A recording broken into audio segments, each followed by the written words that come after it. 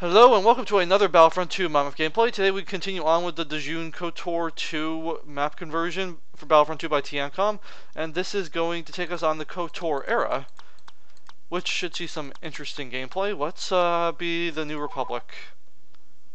Oh, hmm. No music. Got kind of worried for a second there. Oh, did I kill any of them?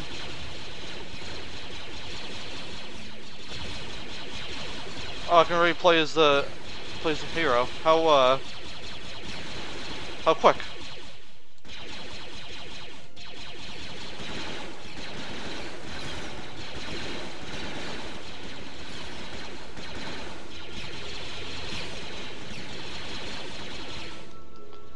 Alright, there we go. At least now we can play as uh, Canderous Ordo.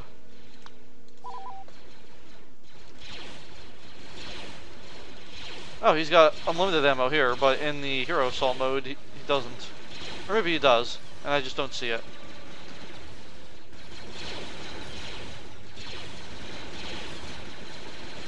Uh, well, not the right thing I wanted to hit.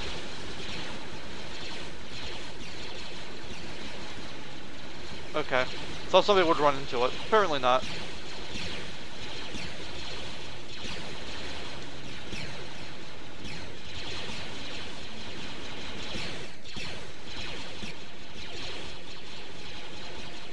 Doing pretty good at pushing these guys back.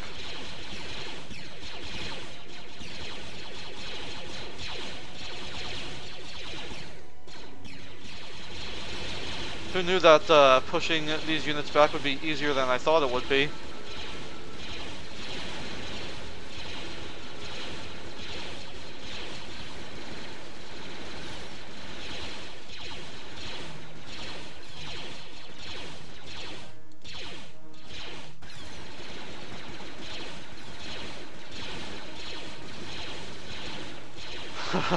I never knew this unit was so powerful.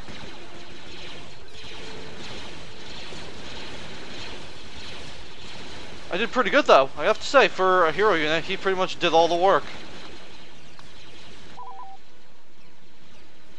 110 versus 9. That's a pretty, uh... Pretty, uh, un unbalanced now. Alright, well, looks like that'll conclude this very short gameplay of Dxun for the KOTOR 2 conversion. Thank you all for watching, and goodbye.